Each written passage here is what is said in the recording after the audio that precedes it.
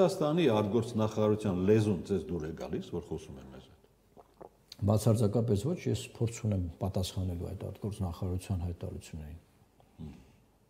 Շատ սուր նաև։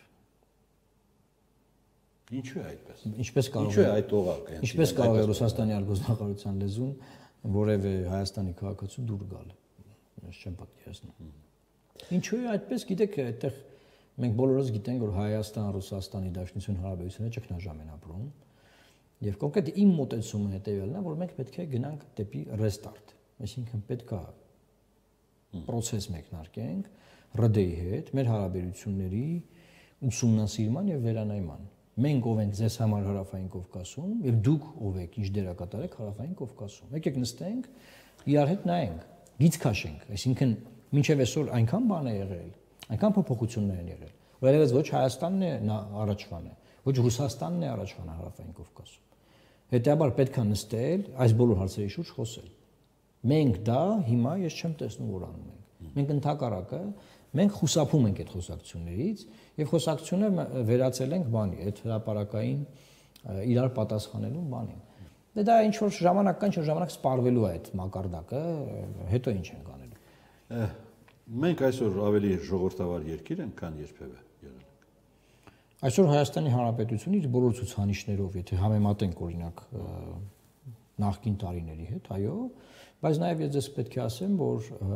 18 թվականի հետ համեմատած, եթե նայեք, ես համեմատում եմ հեղափոխությունից առաջ եւ հետո։ Հեղափոխությունից առաջ եւ հետո մենք առաջ ենք։ Հեղափոխությունից հետո 18-19 թվականներին եւ հիմա մենք հետ ենք։ Իշխանությունը քանի գնում է ռեգրես է ապրում հիմա։ Հիմա իշխանությունը ռեգրես է ապրում։ Եվ այդ ռեգրեսը մենք ունենք թե ոստիկանական ոստիկանության հետ կապված խնդիրներով, բազմաթիվ հայտարարություններով, թե քրեակատարական հիմնարկների հետ կապված, թե տարբեր մարզերում իշխանական կուսակցություն, իշխանությունը որպես կուսակցության ադմինիստրատիվ արդեն ռեսուրսը իր ձեռքում բյուրեղացնելու իմաստով։ Այսպես խնդիրներն առաջ են գալիս։ Եվ ամենակարևոր խնդրեմը դա parlamentin է մեր, երբ որ parlamentum իշխանությունը իր բնականաբար ձևավորած իր կողմից ստեղծած քաղաքական խոսույթի արդյունքում ձևավորած parlamenti արդյունքը նա է, որ այսօր ընդդիմադիր ուժերը parlamentum զրկված են բոլոր տեսակի սահմանադրությամբ նախատեսված իրենց լծակներից։ Օրինակ, հանձնաժողովի նախագահ Պտինի ընդդիմությունից իշխանությունը հերացրել է։ Աժ փոխոսնակը պետք է լինի ընդդիմությունից իշխանությունը հերացրել է։ Պարզ է, հիմա իրանք ասում են, բա դրանք թալանշիներ են, չգիտեմ ինչ են, էս են, են, են, են։ Թալանշիները լինում են բանտերում նստած, եթե բանտերում նստած չեն, դա չի կարելի անդադ շարունակել ասել։ Ես էլ գիտեմ, որ թալանշիներ կան։ Ես էլ եմ ասում, բայց չես կարող որպես իշխանություն դա ասել։ Դա կարող ես ասեմ, դուք ասեք։ Որ իշխանությունն է ասում։ Ինքը պետք է այդ հարցին պատասխան տա քրեաիրավական դաշտում, այսինքն պետք է քրեական գործ լինի, այդ մարդը հետապնդվում է, դատապարտվում է, չգիտեմ, ապօրինի գույք կա, հազար ու մի բան։ Բայց իրենք դա պահում են որպես խոսույթ, որ անդադար դաշտ է, քաղաքական դաշտը պահեն հիվանդության մեջ, որ որևէ նոր բան, որևէ առողջ բան չկա։ Դա հենց նորի բացակայության պատճառով, որ այդ նորի բացակայության պատճառը կմտածեն ավելի լուրջ գործիքներ կիրառել այդ։ Նայեք, ցանկացած որևէ սահմանային բան է, այսօր վարչապետն ինչ ասել, ասել է որ եթե ժողովուրդը ուզենա իշխանությունը փոխել, նա դա կանի եւ ոչ մի բան դրա դեմը չի կարող առնել։ Մի կողմից բնականաբար շատ ճիշտ է, եթե զանգվածաբար ժողովուրդը դուրս գա փողոց, փորձի իշխանությունը փոխել, կփոխի։ Դրա դեմ ոչ մեկ չի կարող ուրե բան անել, բայց մյուս կողմից նաև որպես իշխանություն, իշխանությունը չպետք է շարունակի այդ վարկաբեկման այն քաղաքականությունը, որը որ անդադար իրականացվել է։ Թե այն ժամանակ, երբ որ մենք ենք parlamentum, թե հիմա, թե ընթացքում, հասկանում եք, անդադար այս բաները տեղի ունենում։ Այնինչ սկսվեց Տաուշի մարզից խոսքը շարժման մասին է։ Եվ թվում էր, թե լրիվ այլ թափանիվ է քաղաքական ձևավորվում Հայաստանում, որի առաջին այս փուլին նաև լուսավոր Հայաստան կուսակցության աջակցությունը հնչեց շարժմանը։ Այդ բոլորը հիմա անցյալ է, անցել է։ Բայց ուզում եմ հարցնել, ինչու շարժումը ձեզ չընդունեց Մենք շարժմանը մեծ հաշվով, եթե նայենք այս որպես այդպեսին դասական իմաստով մենք չենք միացել։ Մենք մայիսի 9-ին մայիսի 9-ի այդ հանրահավաքի ժամանակ ասել ենք, որ այն հայտարարություններով, որ շարժումը գալիս է Տավուշից, դրանք նաև մեր հայտարարություններն են։ Չի կարելի միակողմանի զիջումների գնալ, պետք է դադարեցվի միակողմանի այս զիջումների քաղաքականությունը եւ պետք է վերանայվի այս մոտեցումը։ Մնացած մասով մայիսի 9-ի արդեն հանրահավաքի բովանդակությունը, որ սկսեց այդ հանրահավաքը, հասկացա, որ այս բովանդակության հետ մենք կապ չունենք։ Դա բովանդակությունը փոխվեց այդտեղ։ Փոխվեց։ Մնա, բայց դրանից հետո ես ունեցել եմ հանդիպում Բագրատ Սրբազանի հետ, որտեղ իրեն ասել եմ մեր մտածումները, թե ինչ պարագայում հաջողություն կարող են իրենք ունենալ եւ ինչ պարագայում մենք կարող ենք որևէ կերպ մասնակցել։ Բայց դա չի ընդունվել ամենայն հարգանքով անցել ենք բոլորս մեր գործին եւ իմ ասելիքը դրա հետ կապված նաեւ հնարավորինս հրաապարակային ես բացել եմ երկար սպասելով որ նաեւ չասեն որ խանգարեցի շարժումը չէ դուք եք խանգարում բան սպասել եմ բավականին իրենց ցույցերն արել են հետո եմ մեր մտածումները հրաապարակային ներկայացրել հիմա կարծում եմ արդեն բանա է անիմաստ անգամ նորից այդ Բայց գոնե գասեք, եթե այդ բառով կոչենք, ինչու ցախողվեց։ Իրենք իրենք չեն ընդունում որ ցախողվել է։ Ես ասել եմ ինչու ցախողվեց, որովհետև իրենք պետք է նախ հասկանան ցանկացած շարժում ցանկացած ընդդիմություն պետք է հասկանա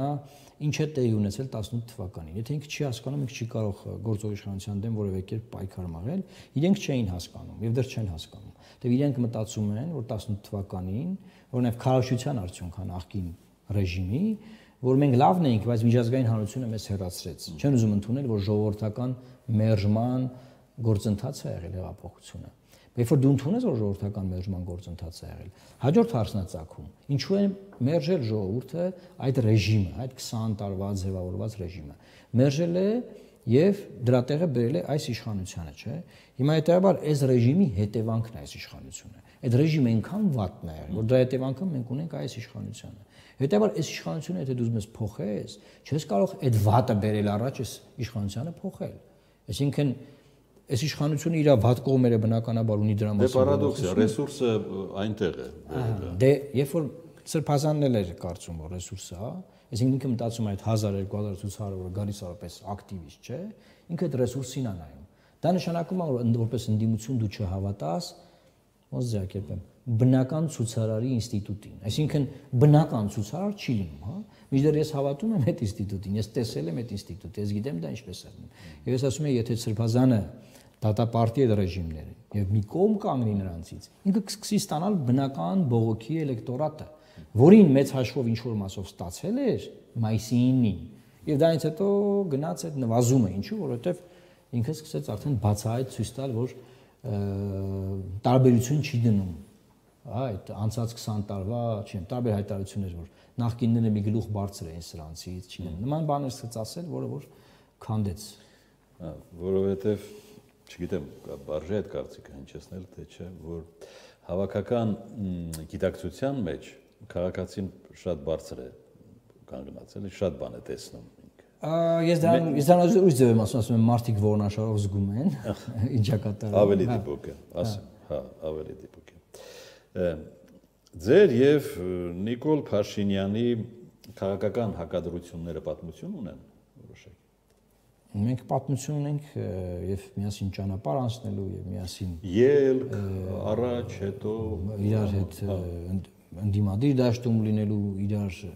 հետ մրցակցելու, չգիտեմ, հազար ու մի ձևի պատմություն ունենք, բնականաբար դա պատմություն է։ Դա ունի լավ մասերը, ունի ավելի տենց էմոցիոնալ մասը։ 18 թվականը, երբ Սերժ Սարգսյանը ասում էր ձեզ վերադարձրեք ազգային ժողով։ Հա, Մարդը գիտակցում էր։ Չէ, թե գիտակցեր։ Արդեն ինչ է տեղի ունենում։ Եթե գիտակցեր, որ ավարտված է դա իշխանությունը որ կար։ Չէ, բայց տեսնում էր ուր է գնում Չէ, երևում էր, չէ։ Իսկ ինձ թվում է adekvat չէ, ինչ էին տեսնում, որտեվ այդ այդ երույթից հետո սեփականաշնորել առանձնատուն կառավարության առանձնատնների տարածքում դա պետք է տոտալ adekvat չլինես որ նման բան։ Ես կարծում եմ որ իրենք մինչև վերջ չեն հասկացել ինչ ա եղել եւ Պրոբլեմը նրանում է, որ հիմա էլ չեն ուզում հասկանալ, ասենք իրենք շարունակում են տարածել են լուրերը, որ օրինակ հիմա տեսեք, եթե նայեք խոսույթը, ասում են Նիկոլ Փաշինյանին միջազգային հանրությունն է հիմա պահում։ Մեզ հանեց, իրան պահում են։ Իրանք չեն ուզում ընդունել, որ կա ժողովրդի գործոն, կա ժողովուրդ։ Այսինքն ժողովուրդը 100.000-ներով դուրս գա փողոց Նիկոլ Փաշինյանին մերժի, միջազգային հարաբերությունն ով է որ որոշի ու ստեղում է պահում։ Նա հաշվի անստելու ժողովրդի հետ, չէ՞։ Բայց իրենք չեն ուզում դա ընդունեն, իրենք դա անդադար այդ թեզը մերժում են։ Ձեր այսօրվա քաղաքական վարկագծում այդ անցյալը դեռ խաղում է։ Գիտեք, իմ քաղաքական ճանապարհը սկսվել է 12 թվականին, այսինքն շուրջ 12 տարի ես քաղաքականության մեջ եմ եւ բնականաբար այդ ամբողջությունը դա մեր անցած, իմ անցած ճանապարհն է, որի համար ես ունեմ վայրի վերումներ, ունեմ վերելքներ, ունեմ վայրեջքներ եւ դրանք բոլորը իմն են եւ դու եթե սխալ ես անում, այդ սխալից ես սովորում, թե հաջողություն ունես, փորձում ես հաջողությունից սովորել, որովհետեւ մարդկա հաջողության մեջ չի հասկանում ինքը ուրա հայտնվել եւ այլն եւ այլն։ Մենք այդ իմաստով բավականին փորձ ենք ձեռք բերել եւ քաղաքական դաշտում շատ քիչ քաղաքական ուժեր կամ քաղաքական մարդիկ կան, որ քաղաքագիտության, որպես գիտություն իմաստով այնքան պատրաստված են, որքան մենք կամ օրինակ գիտեն այս պահին ինչա կատարում եւ գիտեն օրինակ ինչա պետք անել։ Շատ քչերը կան։ Այդ իմաստով ես կարծում եմ մենք ունենք անելիք, այդ պոտենցիալը չի կարելի ուղակի բանել, վատնել, փակել, հա, ինչ որ ձևով բան, որովհետեւ դա մեր մեր հարստությունն է մեր երկրի նաեւ այդ ունեցած հնարավորությունը, գիտելիքը, կապերը, հա, եւ փորձելու ենք շարունակել դա ծառայեցնել երկրին։ Հիմա որքանով կհաջողվի, որքանով որ չէ, բնականաբար ժողովուրդն է դատավորը, ժողովուրդը կորոշի։ Շատ բարի։ Գանք գլխավորին, ինչից կարծես թե սկսեցինք։ Ադրբեջանը պայմանագիր ուզում է մեզ հետ։ Ոչ։ Այն ինչ հիմա ցուցադրում է դա դեկորացիա է։ Բացարձակապես։ Ադրբեջանը պայմանագիր Բա ինչու ենք տրվում այդ խաղին։ Ուզում էր մեզ հետ կնքել, երբ որ Լեռնային Ղարաբաղում կային հայերը, որ เป զի ստանա Լեռնային Ղարաբաղի ճանաչումը։ Հայերի հետ միասին եւ սկսի զբաղվել հայերի ընտերից դուրս մղելու գործընթացով։ Դա ավելի ցանկալի կլիներ Ադրբեջանի տեսանկյունից։ Չէ, այսինքն այդ պահին ուզում էին, որովհետեւ այդ պահին մեր ձեռքին կար զենք։ Այդ զենքը Լեռնային Ղարաբաղն էր։ Երբ որ նրանց հաջողվեց մեզ զրկել այդ զենքից, հիմա նրանք խաղաղության պայմանագիր կնքելու որևէ մոտիվացիա չունեն։ Ինչի համար պետք է կնքեն օրինակ։ Ինչա դա տալու Ալիևի ռեժիմին։ Հիմա փորձում են միջազգային հանրության հետ Դե եթե միայն Ալիևը որոշեր, ճիշտ եք ասում, բայց միայն ինքը չի որոշում։ Ես կարծում եմ, որ մենք չպետք է տրվենք այդ միջազգային Չէ, չտրվել, հաշվարկել, տեսնել ով ինչ Ես ես հաշվարկով ձեզ ասում եմ, որ այս պահին Ալիևը մոտիվացիա չունի կնքելու, եթե ինքը չունի մոտիվացիա կնքելու, չի լինելու այնպես, որ իրան պարտադրեն կնքի, որովհետև չկան այդ պարտադրողները, աշխարհը փոխվել է, չկա աշխարհի ոստիկան, չկա աշխարհի ոստիկանություն, որ պարտադրեն, չկա աշխարհի դատարան, որը որոշի, որ Ալիևը կատարի, Ալիևը առաջնորդվում է իր անձնական ռեժիմի եւ իր երկրի, հետո իր երկրի շահերով, եւ բնականաբար նաեւ Թուրքիայի հետ համատեղ խաղում են այս խաղը Եվ այդտեղ շատ կարևոր է, որ նաև նրանք կարողանում են այնպես բալանսավորված խաղալ, որ եւ ռուսների հետ են